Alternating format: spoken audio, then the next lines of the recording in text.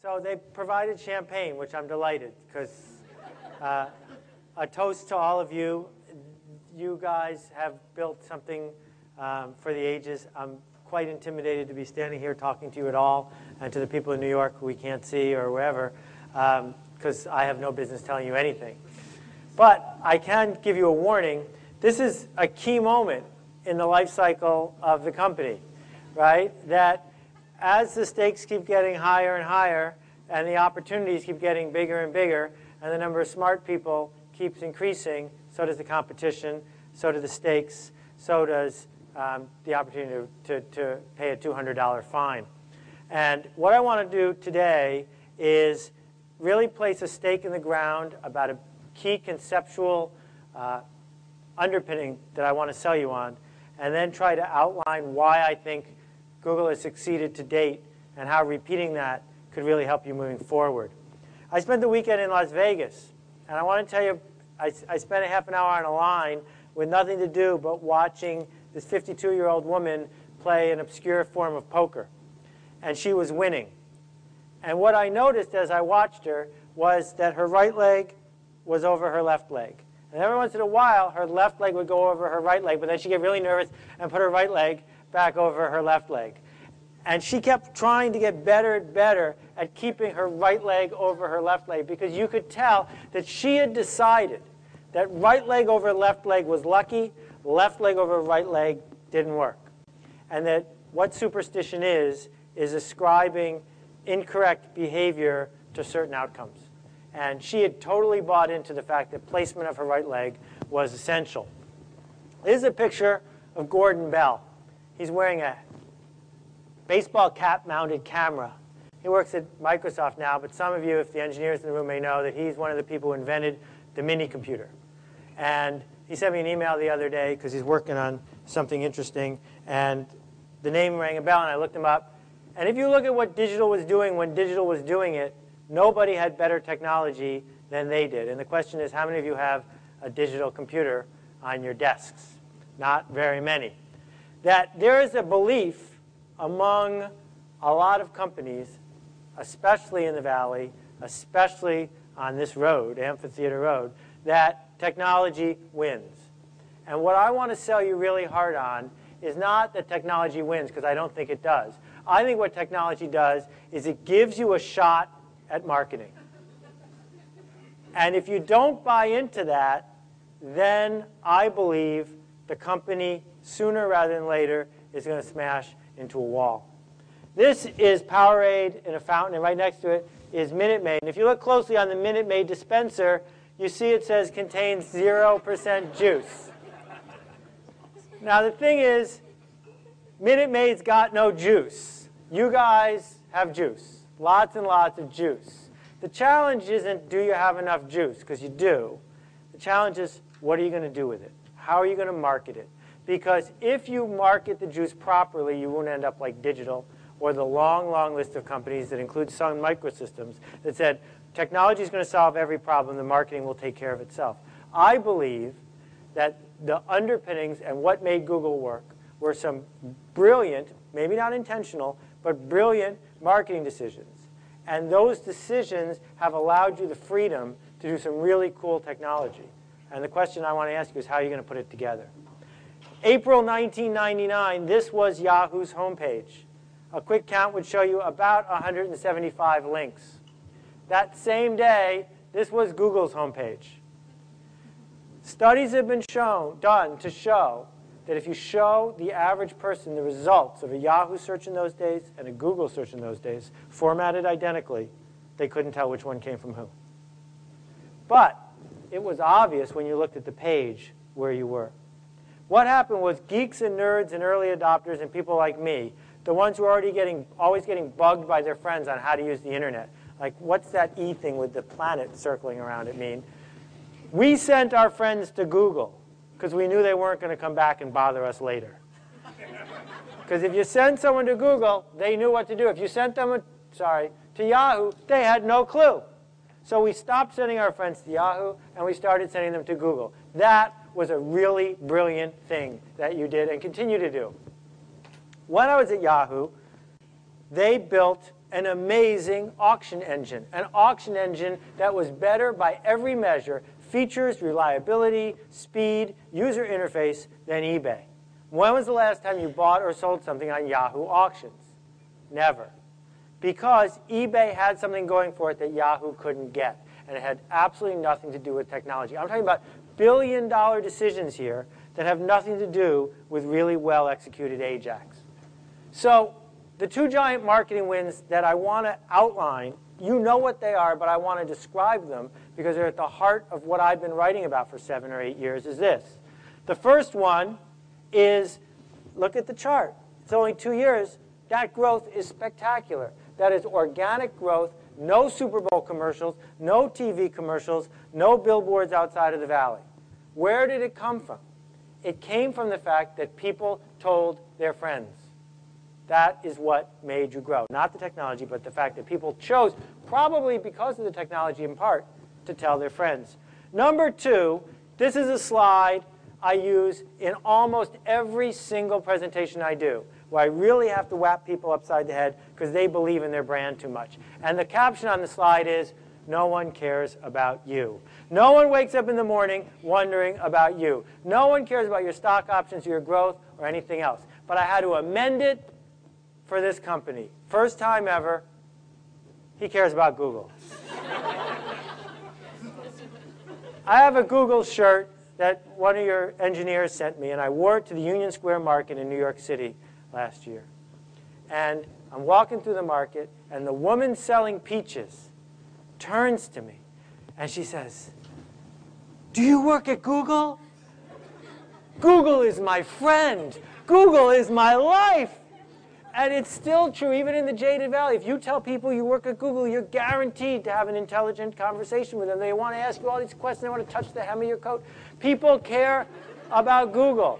That what happened is you made an audacious promise to people. You changed the way they interacted all day long when they're supposed to be working, all day long when they're surfing. You changed their act, and that interaction made them care about your brand. And that means you have a platform to do some spectacular things.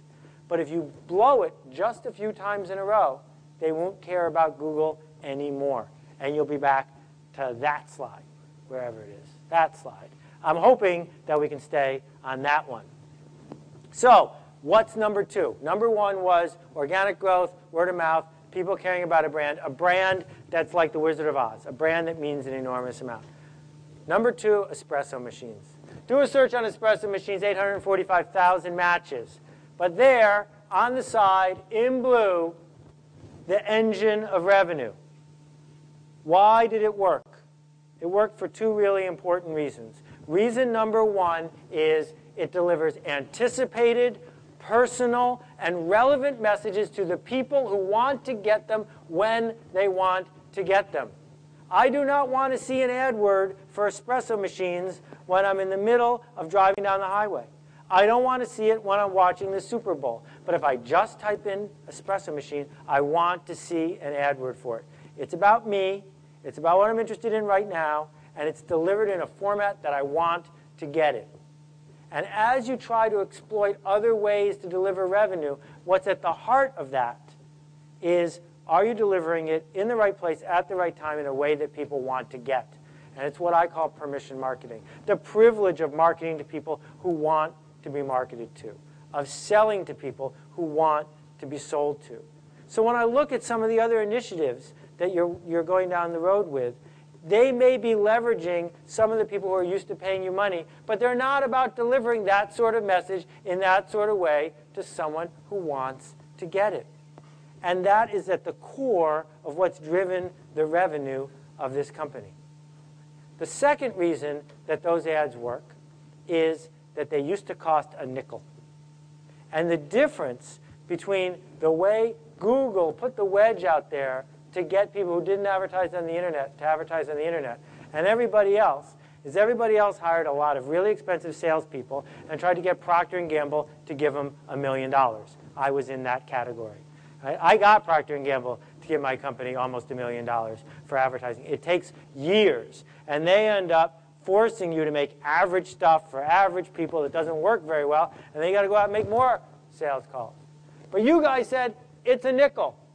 and someone, some fringe person took you up on it, and it worked. And someone else came along and said, I'll pay a dime for that. And then someone else, and so now an espresso machine ad costs $5.82, no sales force required. Put those two pieces together, and you have this magnificent engine. And the challenge is, how can you take care of the buyer and the prospect in a way that makes them both happy?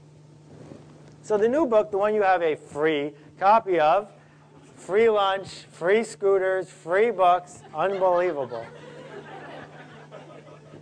is about cats. I hate cats. They just give me the creeps. Big ones, little ones, all cats. My son Mo, his birthday was yesterday. That's why, that's why we had cake to go with the champagne. My son Mo made a contract with the people across the street that he was going to take care of their cat. And after a little while, it was a bit of a pain in the neck, and suddenly the cat was in danger, was going to starve to death. I had to take care of the cat. Don't like cats. Turns out the cat only eats fancy feast cat food. fancy feast cat food, three times the price, half the size, super stinky. First thing to understand about cat food, cat food is not for cats. Cat food was for cats, it would come in mouse flavor. cat food, baby food is not for babies either, but that's a whole other story. Cat food, you know, this flavor, my favorite one is this one, it's grilled salmon. Because of course, cats in the wild, just they hold out to the, you call your cat in from outside where it's torturing a small rodent, and you give it this stuff that costs $5 a can. Why? It's not for the cat. It's for you. Look what it says on the back of Fancy Feast cat food and on their website. Fancy Feast gourmet cat food is finely ground and smooth, like pate, offering a taste and texture to please every cat's discriminating palate. now, the cats in California are really nervous about that new foie gras law, so you're just going to have to leave the state if you've got one. But my point is that what the marketers at Fancy Feast figured out how to do is tell a story. When you buy Fancy Feast, you are not buying sustenance for your cat. You're buying well-being for yourself. How do I explain the fact that every day 30 million pet plastic bottles end up in landfills in the United States when 30 years ago there was zero market for what we call bottled water. The water in the United States is the best in the world, and the stuff that comes out of the tap is free.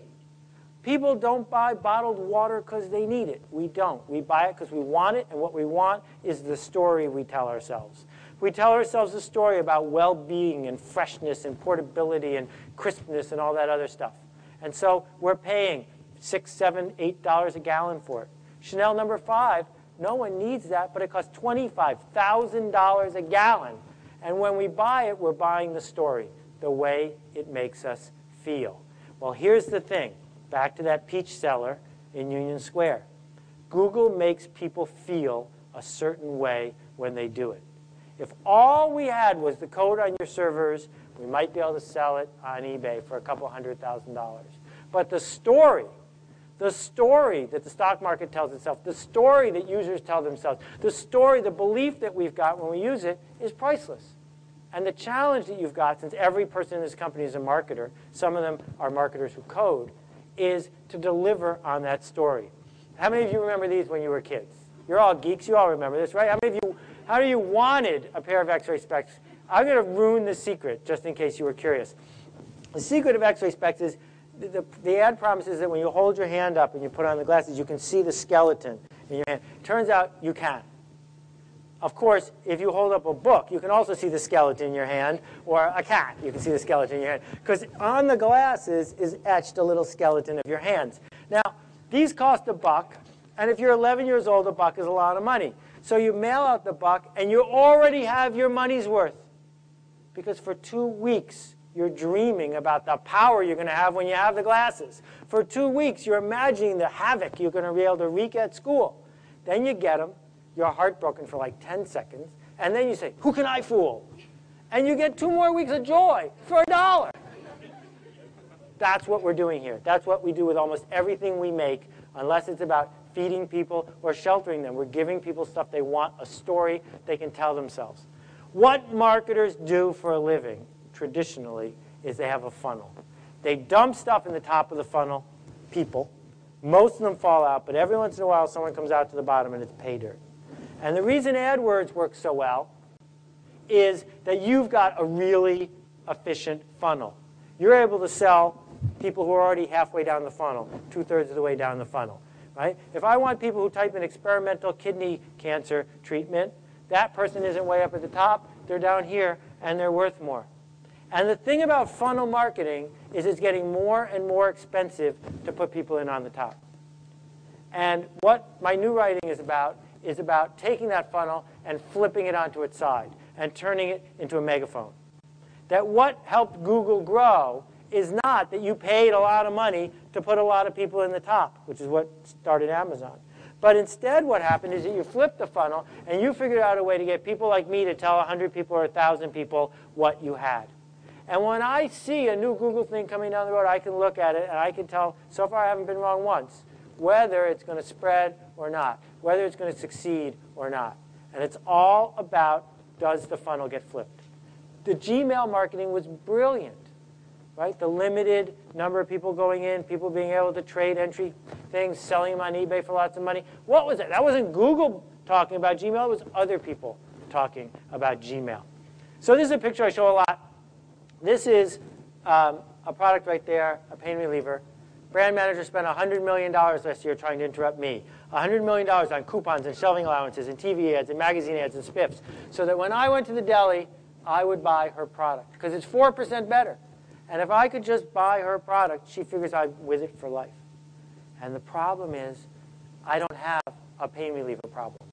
I solved my pain reliever problem 20 years ago. I buy the stuff in the yellow box. So why should I switch? She's invisible. She doesn't exist. And what I say to most organizations is, whatever you're marketing, whatever you're selling, you're the blue box. You're busy talking to people about a product that they're not interested in. I, again, I apologize. It's fuzzy. I had a bad cold when I took it. But the point of the slide is you have to decide when a new product comes along, when a new opportunity comes along, is it a blue box? I don't have an auction problem. And solving my auction problem is going to make it really hard for me to pay attention.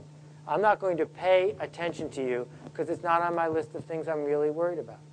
Craigslist didn't come along and say, we're going to solve your eBay auction problem. They solved a totally different problem that people were happy to hear about. So as you go down the list, the question as you offer these things is, are we offering a blue box? So where do you go from here? Well, it starts in France. My wife, who some of you have met, has transportation narcolepsy. She falls asleep in any moving vehicle unless there's a really good movie on the plane. And the four of us planned a long trip to France. And um, we missed a flight, we missed a connection, 17 hours, 16 and a half hours. My kids have been making a ruckus, my wife has been asleep. And we're almost there. We're driving through this pasture. The sun is shining. The sky is blue. And I notice it's quiet in the back seat. My kids aren't making any noise at all. I look in the rearview mirror, figuring they're still asleep, or they are asleep. They're not asleep. They're looking out the window, transfixed, staring at this perfect specimen of a cow for about five seconds. And then they went back to making a ruckus, because cows are boring. If you've seen one cow, you've seen five cows. Five cows, you've seen 100 cows. All cows are the same. But what if it had been a purple cow? What if out the window there had been a real honest-to-goodness purple cow? I would have pulled over. My wife would have woken up. She would have taken some digital pictures. I would have called people at home, told them I was looking at a purple cow. My kids would have jumped out of the car, run across the street, hopped over the fence, and rubbed the cow to make sure it was really and truly purple so they could tell their friends that they had touched a purple cow. Because a purple cow is remarkable. And what I wrote about in that book, Purple Cow, is what remarkable means. And it doesn't mean beautiful or ideal or perfect. It only means one thing, worth making a remark about. And the challenge is, if you're going to bother doing something, is it worth talking about? And the amazing thing about the thousands of you here is you keep doing it. You keep making stuff worth talking about. I'll show you a couple examples. Hummer and the Mini. The Mini, small enough to put in the trunk of the Hummer. but they had a lot in common. For four years, they sold it full retail. For four years, they made a profit. For four years, they had a waiting list because they were on the edges. General Motors loses money on every midsize car they sell. Because if you want to buy a midsize car, just buy a Toyota or a Honda, the cheapest one. It's at the edges that people wait in line. It's at the edges that people will notice you. And as this company gets bigger, there's going to be more and more pressure to be safe, to be in the middle. So you just show them this one slide. This is how much money to scale BMW spends marketing each car sold in the United States. And that's how much money Lincoln Mercury spends. Because Lincoln Mercury makes average cars for average people and spends the money hyping them. And BMW has a marketing department called engineering. And they keep making stuff that people choose to talk about. This is the Hummer SUT concept car. The cool thing about this is the tires are designed by Nike. Big orange stripe on them. Now you could say, Nike tires are not going to get me from here to San Francisco any better. And I would say, neither is a Hummer. That no one buys a Hummer to get to San Francisco. They buy it to tell a story, to talk to their friends, to tell themselves the story, to have a message. It's the free prize, the bonus, the extra, the thing we're really paying for. Tiffany's gives the jewelry away for free. The box is what they charge for. Because if you give somebody jewelry from Tiffany's, all they talk about is the box. That's what you're paying for, that you care enough to pay five times more than you should have. And that model, that story, there's nothing wrong with it. Tiffany's doesn't pretend. They say, if you pay this much, you get the blue box. And that's why you can do this experiment. You'll see, put a Google logo on somebody else's service and test them and see if they like it or not. And they're much more likely to like it because they tell themselves a story when they see it's from you, at least for now, if you keep it up. So it, we entered this era of emotional marketing. If you want me to talk about something, you better deep down love it, or else why should I? And it's going to become very easy as the pressure goes on to put out something that's good enough. And if it's just good enough, I'm going to notice, and I won't tell anybody. So you're in the fashion business, just like Giorgio Armani, just like Tommy Hilfiger. You change things a little, just enough to make them worth talking about. Does the average consumer really need 2.7 gigs of storage on their email account? Probably not. But it adds to the story. It's the fashion. It was something worth talking about. So, a couple examples from the non-online world. If you decided to enter the sock business, you could say, what do socks do? And the answer would be, they give it an odor and they keep you from having blisters. And you can go to China and you get these socks made for 12 cents. You could sell them to Walmart for 20 cents. That would be the end of that. Or you could do what this little company in Westchester called LittleMissMatched did. They make 133 styles of socks aimed at 11-year-old girls, and you can't buy a pair. They only sell them in odd numbers. The 11-year-old girl goes to school and says to the other 11-year-old girl, want to see my socks? want to see my socks? What a great marketing strategy. Because that 11-year-old girl goes to the next 11-year-old girl and she says, I got to get some of these things. And the next thing you know, everybody in school is wearing socks that don't match. We didn't need more socks, but we wanted them. We wanted the story that goes with it. This, on the other hand, is a picture, a bad one, of chocolate-covered pickles. So, I want to just spend one minute talking about what I've been working on for the last six months, and then um, wrap things up and make sure I have plenty of time for questions. I don't think people surf the web. I think that this whole idea of surfing the web is a little bit of a fraud. Because when you surf, you're effortlessly, if you were good at it, effortlessly going from side to side, thing to thing. That's not what really people do. What they do is they poke. They poke around a lot. Poking in, poking out. So if you went to that espresso machine thing, what you'd probably do is click on one, realize it was SEO, back off. Click on one of the ads, oh yeah, click back. Click on another ad, click back, which is good for you because that's 20 bucks of revenue if they do it four times. But back and forth and back and forth. And then finally, what you've done is you've established all these clues. You've gotten all these little things that you needed. And the problem with clues is they're too slow. The problem is that, yeah, you could find 1.9 million matches on almost any one or two word search, which is what almost everyone does. And you could poke and you could poke and you could poke and you poke. And then you're either going to give up or finally you're going to have meaning. If you sat down in the cockpit of the Concorde and someone said, held a gun to your head and said, launch this plane in the next 10 minutes, it wouldn't be easy. There's no way you're just going to flip the first switch you come to. You're going to take a few minutes. You're going to look around. You're going to try to make sure you understand the big picture before you fire up the engines. That this search for meaning is the opposite of what most people experience when they're online. They're really trapped. They're stuck. You can't get someone to be a happy surfer until there's a sense of meaning, until they get this big picture. And I think the next frontier is, and the, the project I'm working on is called Squidoo if you want to check it out. But the idea is how do you put in one place enough clues that in one second I get the big picture? I have enough meaning to actually go and take action. So I'm going to close by showing you two charts and telling you one story. This is what brought us Revlon and Procter & Gamble and even Cisco. Step number one, buy ads. Hire a sales force to interrupt people. Buy Super Bowl ads, TV ads, magazine ads, newspaper ads, radio ads, spiffs, all those things. Interrupt lots of people. If you have money, you can interrupt people. Once you do that, you're going to get more distribution. This is what happened to Revlon in 1946. That distribution is going to help you sell more stuff. And then, if it was 20 years ago and you were really smart, you'd take all the money you made and interrupt more people. And around and around and around it goes. And any of you who have been on a sales call or taken an incoming from someone in the outside world understands that this is still the way most people think. Anyone asks about CPM, this is what they're thinking. Anyone whose website is the same for all the keywords they buy, this is what they're thinking. This mindset is why Web 1.0 didn't work. Because everybody was busy doing this until the price of banners went down to a penny. The alternative is what I call the fashion permission complex. Step number one, make something worth talking about. If you can't do that, start over. Step number two, tell it to people who want to hear from you. And step number three, they do what other people used to think of as marketing. They're the ones who spread the word. They're the ones who interrupt their friends. And then the hardest part, and this is where Google Toolbar comes in, is get permission from these people to tell them about your next fashion. So as your asset base grows, think about the iPod, think about 60,000 people tuning in to a webcast of Steve Jobs' keynote speak, speech.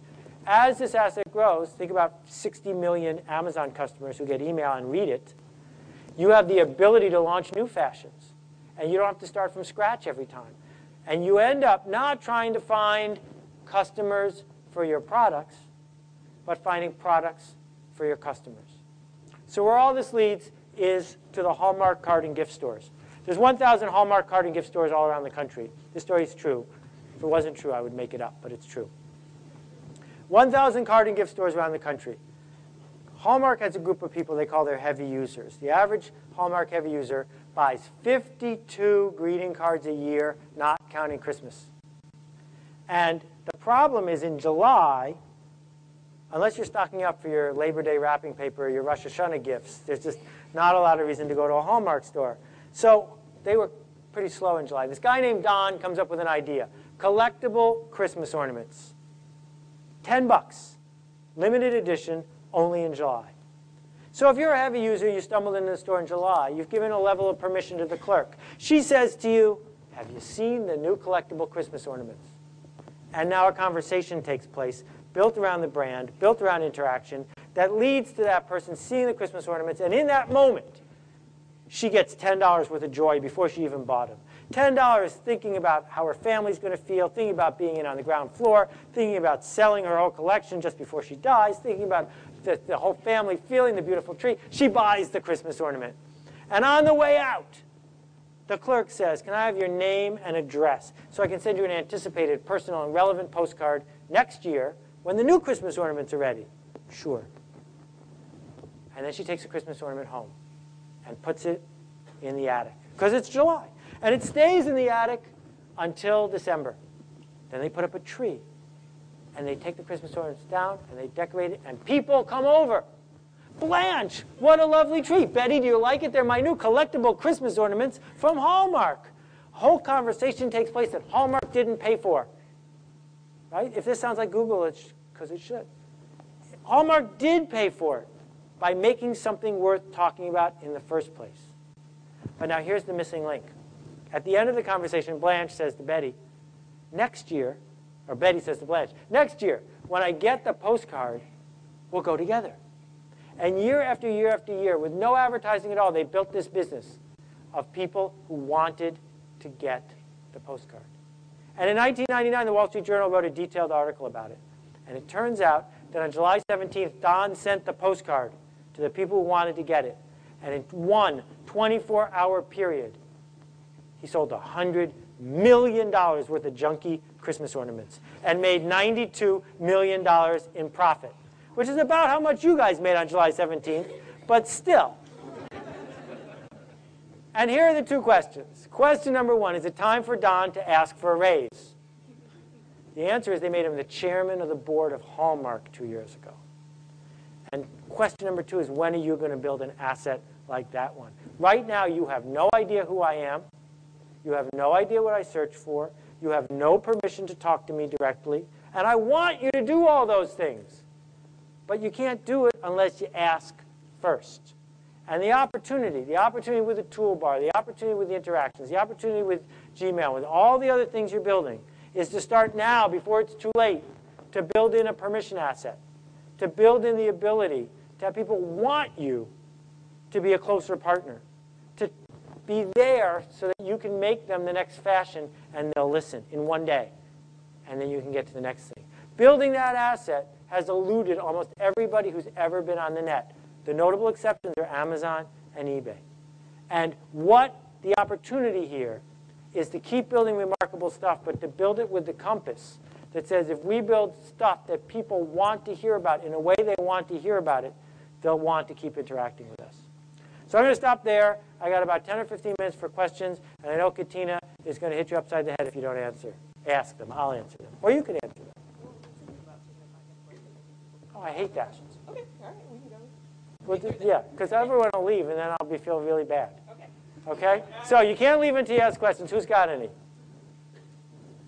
I'll call on people. I've done it before. Yes, please. You talked about the blue box. The Google Mini, the product I represent, is a blue box. What advice do you have for me? I'm sorry, I didn't hear the Google. The Google Mini, it's a search appliance for small and medium businesses, so it's google.com technology. Right. So the question is, um, I'm sorry, what's your name? Patsy. Markets the Google Mini, which my wife has a Mini, and I'm visualizing this orange convertible. It searches. Right. So the Google Mini is a search appliance for small and medium-sized businesses. She thinks she's got a blue box. I think she doesn't. And I think you don't because you're falling into a fairly common trap, which is it's really important to you. And you know how great it is. And you know that if everyone understood how great it is, they'd all line up to buy it. The problem is, A, most people don't have a search appliance problem. They don't wake up in the morning and say, how am I going to solve this search appliance problem? And because they don't have it, you are stuck. So you're, when you said blue box, I would thought you meant the Tiffany box. You're in the other blue box. We agree. Yes, you're, in, you're the, that blue box. So the challenge you've got is that small businesses rarely tell each other about these sort of successes. So if I bought one and it worked, I would not tell my friend who also owns a small business, you got to get this thing. So it's a problem. It's not entering a marketplace that's geared to have these conversations.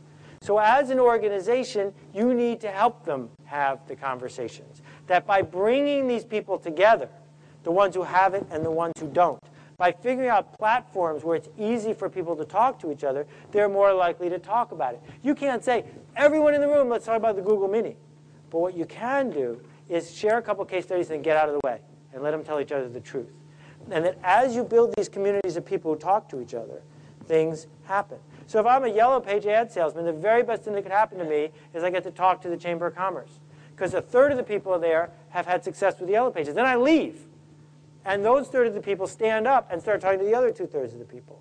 And this idea of sneezers, the powerful ones. I'd go find people um, who have really successful blogs who are small business people, like the guy who runs um, FogBugz. And I'd give him one. And I'd say, no strings attached, here it is. And if he starts liking it and he writes about it, now he, you're flipping the funnel. You're giving him a megaphone where he can talk to other people about how it has helped him. And so that's why blogs are really a powerful tool in making this work. So again, it's thinking about not that you deserve the, the, the conversation, regardless of how good it is, but how can you cause conversations to take place? Does that make any sense? Yes, sir. Um, I'm, I'm just wondering when uh, remarkable, you know, becomes too remarkable. I think that's something where Google is, you know, in, in newspapers every single day. You start to see, you know, the patent clock changing, so it's not such about love, but it's about things are doing wrong. Yes. I'm wondering how you manage that? So um, that's a great question. We have to distinguish between brand conversation and um, product conversation. The brand conversation of Google has a lot of ennui starting to happen because we've heard it before. We don't want to hear how much the stock is worth, and we don't want to see those two pictures of guys anymore, even when there are three of them. We just don't want to see that anymore. You know? And that happens to every single brand there's ever been. It's going to happen here. That's different than the product conversation. So, you know, Ferraris have been around a really long time. But when the new Ferrari comes out, we want to see it on the cover of Road and Track. So that's not a conversation about Ferrari. That's a conversation about the Modena. And the challenge you guys have is, yes, Gmail 1.93 is a little better than 1.9, but we're not going to talk about that. What we are going to talk about is how cool Google Earth is, for a little while anyway, until we realize it's, for most people, I can't spend my whole life on it the way I can Gmail. And the, the, the challenge you've got is how do you keep creating new fashions, Giorgio Armani style, four times a year on a schedule that works for people, that keeps expanding the conversation. And at the core of it, and I've been talking to my friends at Mozilla about this, is the best ones are ones that work better when your friends use them too. So the reason eBay grew is because eBay sellers told lots of prospective buyers, go check out my auction. So there are certain things you guys are launching that work better, like video, if lots and lots of people use them. There, so it's easy to talk about those because there's selfish motivation. But there are other things you're launching that don't. And those aren't going to get talked about nearly as much. And so you need a blend. You need to have utility in there, like the Google Mini. There's nothing wrong with that. But if you want to grow, the real growth is going to come from things that work better when my friends get them too, and I will selfishly tell my friends to go do it. Yes, please. Yeah?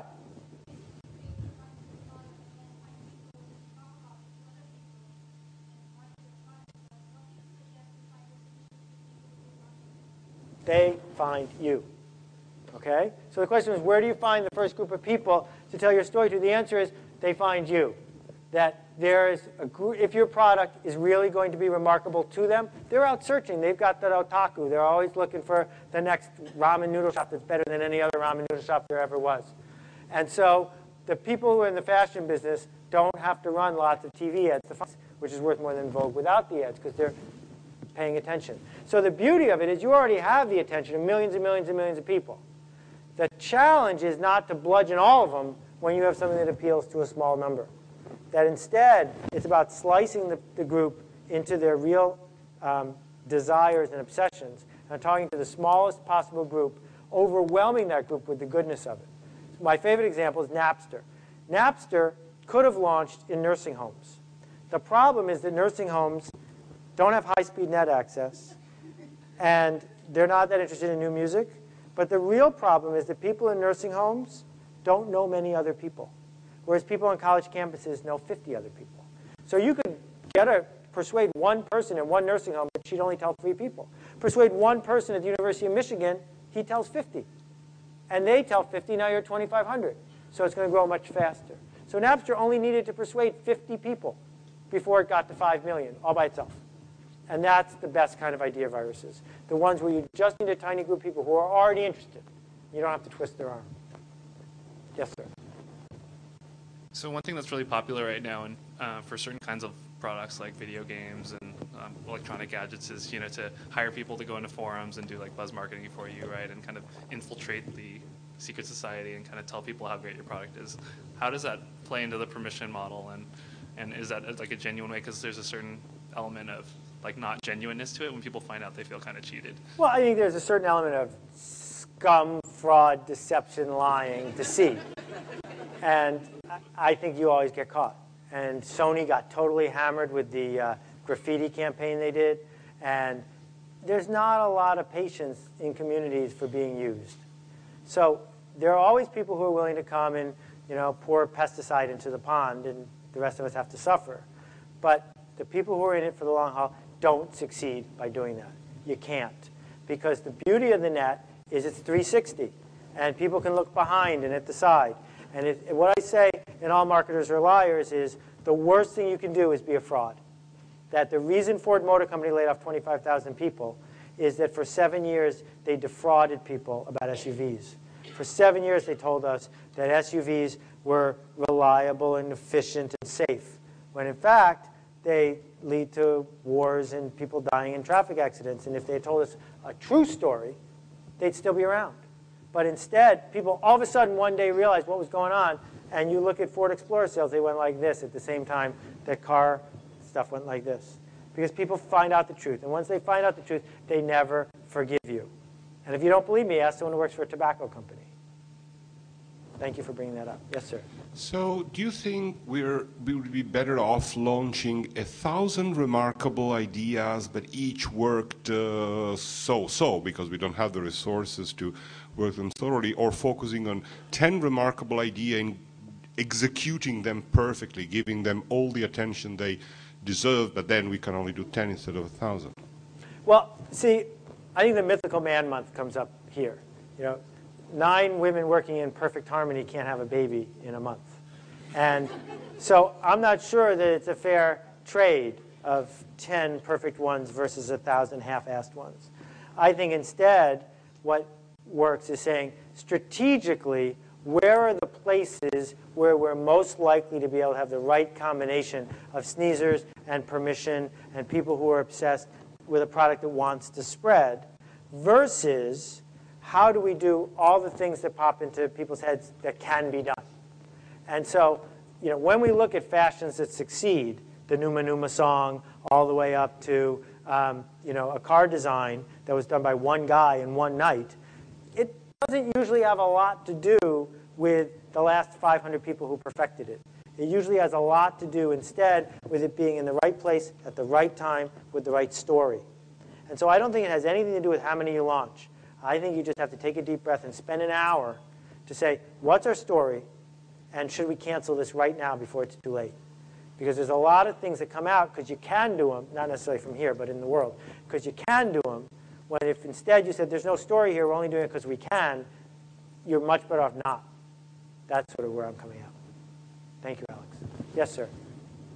I was wondering if you had an opinion on what we've done wrong with Google Maps.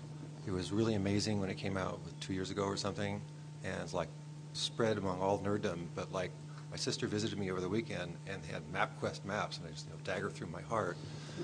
And and now you know Yahoo has scrollable maps, Microsoft has scrollable maps, and and you know we've got this cool thing, but but I, it seems like nobody really knows about it. Okay. So I do have an opinion. I have an opinion on everything. And I don't know what I'm talking about. Those are just two caveats. Problem number one is when you launch Google Maps, for most people who need to get to their hotel, they didn't have a map problem. The Digerati had an Ajax map problem. There wasn't one. But I didn't have a directions map problem. And the amazing thing about Google Maps, when you first looked at it after you realized how cool it was, is it was really hard to print and really hard to get the driving directions so I could take them with me when I went. So it was really cool and fun to do and to look at my backyard with the satellite. And so the Digerati, the Boing Boing people, we all went crazy. And it made it to the Times yesterday with The Sopranos. Really cool gimmick. And it's worth talking about, but not aggressively because I'm not solving anyone's problem. It's an entertainment vehicle.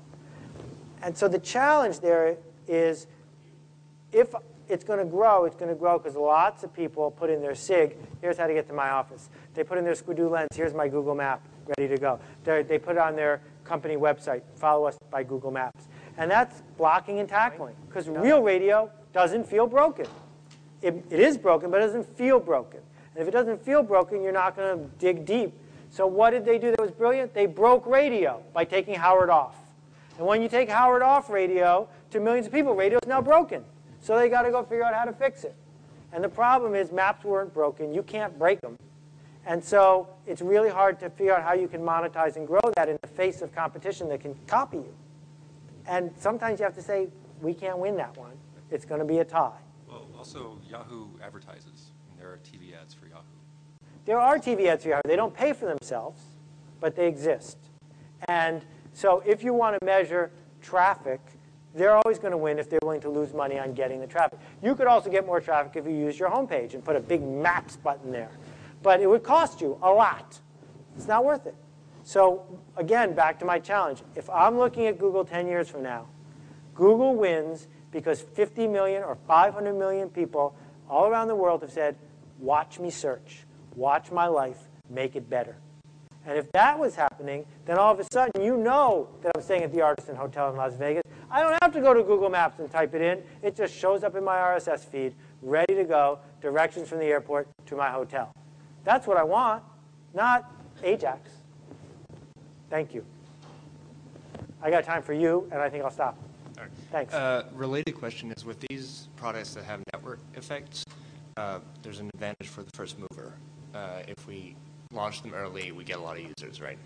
Um, Are we better off launching them early and then maybe adding the remarkable later, so we have, we get users and, you know, at some point, we get the resources to put in the, the BAM? Uh, Or do we wait to launch these products until we have something that's amazing at the risk of the competition launching something else before we do, and being eBay. So here, here's, here's my answer. Uh, on the West Side Highway at 54th Street in New York, there's a really funny billboard. How many of you have seen it? Exactly. It's invisible to you. It doesn't exist. And the same thing is true for most people and delicious. The same thing true is for most people and lots of things. eBay wasn't the first auction site. eBay was the first auction site that figured out how to get its story straight and delivered on its promise in a way that was easy to scale. And so you don't have to invent the next thing that has network effects. What you have to do is tell the story to the right people on the right day in the right way so that they can quickly go and use it. And that's different. Does that make sense? So I think it's a mistake to launch something fast to be first if it's not good.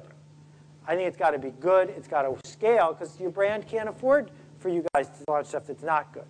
But what you can do is take a look and say, wait a second, in just a few weeks that thing is happening. How fast can we use that and put it out better, good enough, worth our brand?